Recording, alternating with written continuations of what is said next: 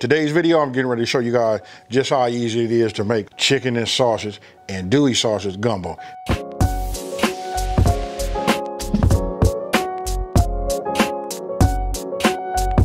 So look, I'm gonna go ahead and go over these ingredients. I'm gonna start with the okra. I got some diced onions that I had already made, green uh, bell pepper. Look, we got some parsley. We're gonna use a little bit of that. You know what I mean? We got celery. Well, we got bay leaf, vegetable oil, garlic clothes, flour, and of course you gotta have that Creole kick. Now I'm gonna show the big one. If you guys haven't ran out and got yourself this size right here, this is what you need, right? This right here, when I say gumbo, this is what give it that flavor. Now, some of you guys are gonna use filé. You know, I mean, it's up to you. I don't usually uh, do it that way. What I do is I put the bottle out, put it on the table. For those that like it, they can put it in their individual bowls. Hey, a few more ingredients. Look, you got to have olive oil. You know what I mean? Uh, we got salt and pepper. And then back here, look, we got chicken broth. If you don't know anything, you know that all of this right here, we making flavors, folks. And we gonna plate it right here in this bowl. Hey, with that being said, I got some rice going. I'm not finna over talk it. Let's get it. Okay, so look, what I did was I took my chicken out. Look, I only put like about a pound of chicken in here, right? So look, I'm gonna go ahead and just go ahead and give this a cut. Don't forget to make sure your knife is, your blade is, you know, sharp, especially with this being, you know, slippery. Now, let's talk about this right here. You can see right here, it's got a little fat on there. It's up to you guys. You guys can like clean it off. You know what I mean? Clean it up. For me, I don't do it like that. I just cut these down into like bite-sized pieces. You guys can take a look. See, I cut them all down like this, right? One pound didn't look like a lot because that was three, you know, chicken thighs. Now that you see it, look, now you can see, you know, about how much volume. It's up to you. Now I'm gonna take my andouille sausage. I'm gonna go ahead and cut it down. And I love seeing this. If I cut them down like this, and I gotta give the person that first told me that, I'm sure all of you guys already know that, but if you cut them down this way, it's easier. That way I can, you know, multi, I call it multitasking, but I can be more efficient. That's what it is. So look, I'm gonna just cut them down like this. And the reason it's on here with my chicken, I'm gonna say what difference does it make? Cause I'm gonna stick this, I'm gonna season that and give this about a one minute head start, and then I'm gonna add that. And that's gonna add a lot of flavor and cook that in there also. Chicken's done, the chicken andouille is done. I already started putting a little heat under here. You know what I mean? So let's just go ahead and add a little, just a little bit of olive oil so you guys can see it. You know what I mean? This is just for the chicken, right?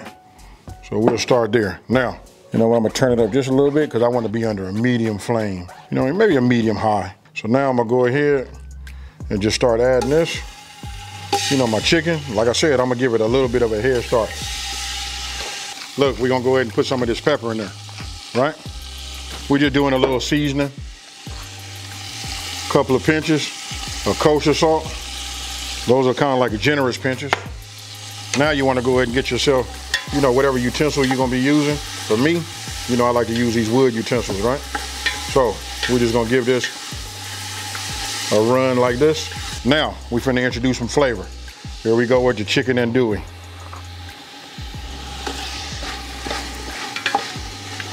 Now we're just gonna let this work down, brown up, get hot, and that chicken andouille, you're gonna release all of those, you know, flavors that it is, all of the seasoning and everything. It'll release it all in here. So I'm gonna leave it like this, let it cook. I'm gonna let this go for about, I'm gonna say about, uh, maybe about three or four more, more minutes. Okay, so I actually went a little longer. This is probably more close to being four minutes, but I want you guys to take a look down there. Look at that. Ah, this is, I can smell it. This is right.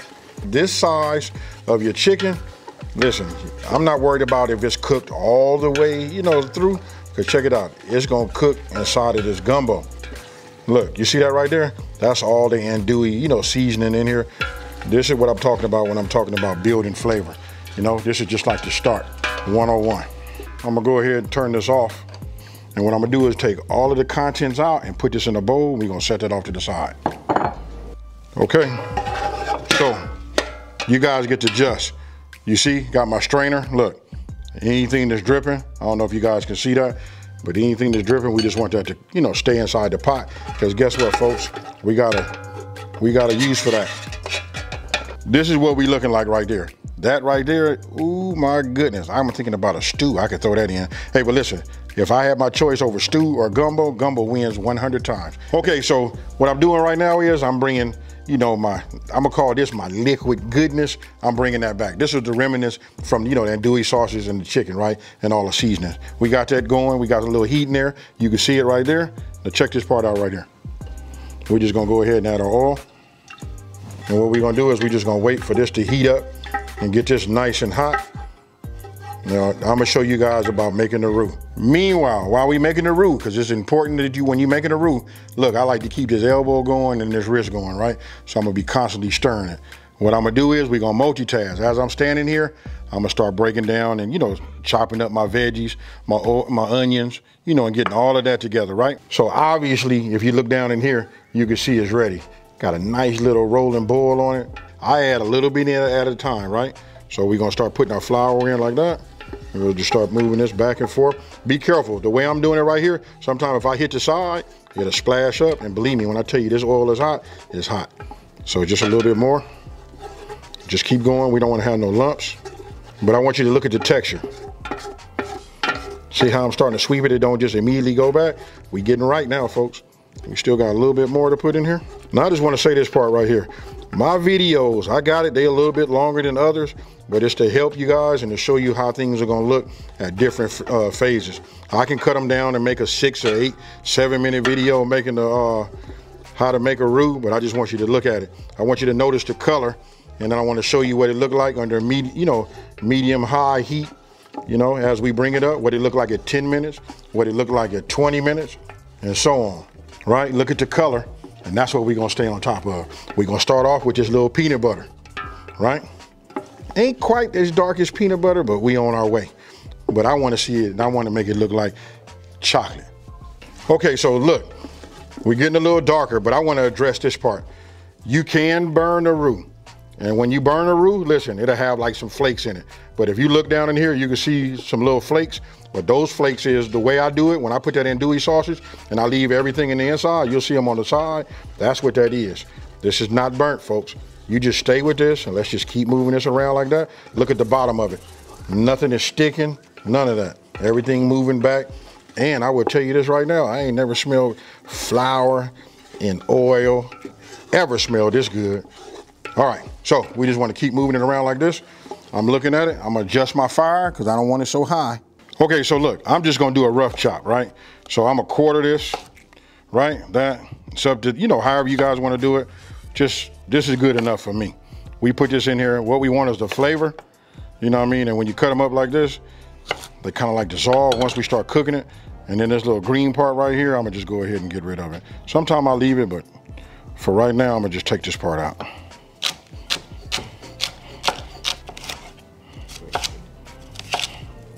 Okay, so look, it's been about 22 minutes. At the heat that I'm using, look at this right here. This right here is okay, right? So I'm liking this. I'm liking the color. I don't want it to get too much darker as of right now. So the next thing I'm gonna do is I'm gonna start adding my veggies, right?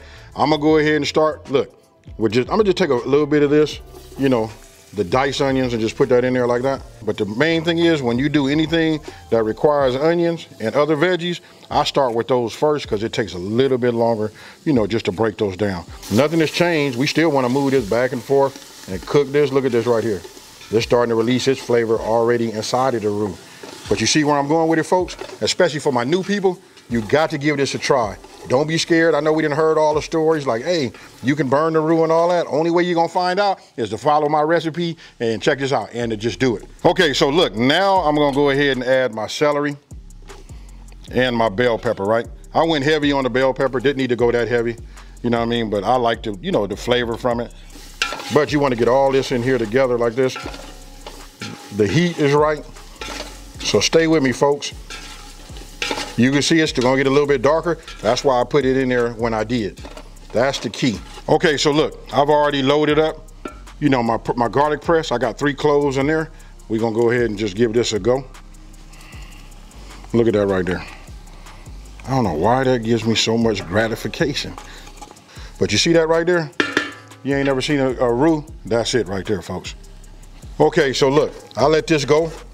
You know what I mean? Uh, this is nice. I'm liking that. So check this out. You guys see the meat right next to me? I'm gonna go ahead and add this. Look, just a dump and go.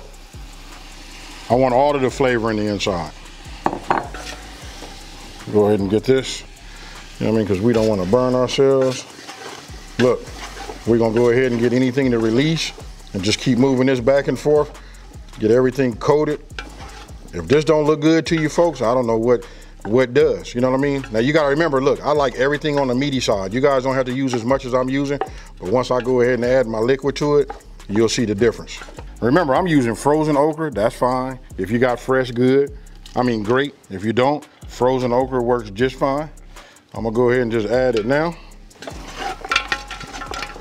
Look, I'm just moving this around, getting this going. Look at this right here. This that Creole kick. This right here is what really, really ties it all together. If you guys been following me for a minute, you know I swear by this, the garlic butter, which is really not really fair to the rest of the products, because I use them all. I don't want to lie to you, I use them all. But don't want to like beat everybody up, so if I go with my must-haves, you gotta have this. Okay, so now what we getting ready to do is, we finna tie it all in, right? So I'm gonna go with my broth. Look, remember how dark we had got the roux? This is where it's gonna come together for some of you guys. You guys gonna get a chance to see. Look at the liquid right now.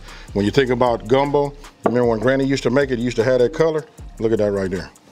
But we ain't done yet. Let's get all of it in there. There we go. Now we gotta get this back up to a boil, right? And then we're gonna set it, put it on medium. No, we're gonna put it on like a low. We're gonna put this lid on here and we're gonna let it do its do. But if you see how I'm moving it around, you remember we had that roux going, you know, with that flour. You can see it's not, you can see the thickness of it. You know what I mean? But we got some cooking to do. Okay, so let's check. Okay, we got a nice little simmer going. That's good right there. Look, I'm just gonna give it a little, little stir. I'm liking this. Now, I'm gonna go ahead and let this cook, you know, real low. We're gonna let this, you know, cook for about, I'm gonna check it again in 30 minutes. You know what I mean? Sometimes you guys can, it depends. I, I really don't know what the formula is, but if you ask me, I'm gonna say 30 to 45 minutes. You know, some people like to even go an hour, it depends. Sometimes I do, but I'm gonna taste it and see where we at. And then last but not least, now that we got like a little bit of a boil, I'm adding my bay leaves. Let's go ahead and get these submerged so they can do their thing. Let's put this top back on and I'll see you guys in 30 minutes and we'll just take a look at it. Okay, so look, check it out. I'm gonna let you guys take a look at this. This is after 45 minutes, right? So look, I'm gonna take it out, take this top off. Ah, what does that say to y'all? I'm gonna go ahead and take this off. I know everybody's saying gumbo's supposed to cook 5, 10, 15 hours, stuff like that. But you see this right here? I want you to see if you can see the thickness of it. Ah, I'm gonna go ahead and just bring some up like that. Can you see that? Can you see the texture? Oh yeah, look at that chicken. Now remember, this is just chicken and sausage, but I want you to take a look at, you know, the, the roux. Now, all I'm gonna do is take these out, and actually, as I find them, I'll take them out, because you got a lot of flavor from the bay leaf also. If you take yourself on some of these bowls, you see I cook with them, so you should have these already, especially if you've been following me for a minute, right? You take this, you put the, you take some non-stick spray, spray it. You wanna get it in there so nothing sticks. Then you take your rice, put it in here, pack it in. You got it, you, yay, you got it now? Huh, super easy. Hey, super simple. Makes it, just levels up your presentation. Now, I want to show you this part right here. Look inside this right there. You see that right there? Look at how I hit it and you can see the texture and the thickness of that. That right there is fire, folks. So I'm gonna just do it like this. Bring this over here like that and just start putting this around here like this. Now, remember we had that parsley? I went ahead and got everything set up. You know what I mean? So this way we can Ooh wee, I can barely talk, folks. And I know I'm getting something on the top. It ain't got to be perfect. You know, I'm gonna clean the bowl up and all of that. But oh my God, look at that. You guys tell me what you think. But I'm gonna go ahead and just give it a little, just to make it pop over the top, just like that. Oh, I gotta hurry up and get me a spoon. I don't know how long I'm gonna be able to hold back. Hey, I'm finna dig in, folks. I'll get a thumbnail in a minute. But listen, I'm super hungry and I'm finna get it.